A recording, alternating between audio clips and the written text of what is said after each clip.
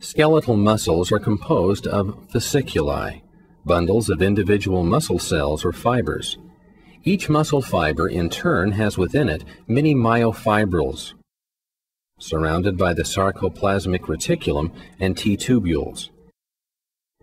Each myofibril is composed of many actin and myosin filaments. Projections from the myosin filaments, the myosin cross bridges, interact with sites on the actin filaments to produce contraction. Each myosin filament is surrounded by six actin filaments. The cross bridges project outward from the myosin filament toward the actin filaments in crowns of three arranged at 14.3 nanometer intervals along the myosin filament. Each crown of three cross bridges is rotated 60 degrees with respect to the previous crown, but all cross bridges extend toward an actin filament. There are approximately 200 to 400 cross bridges for any one myosin filament.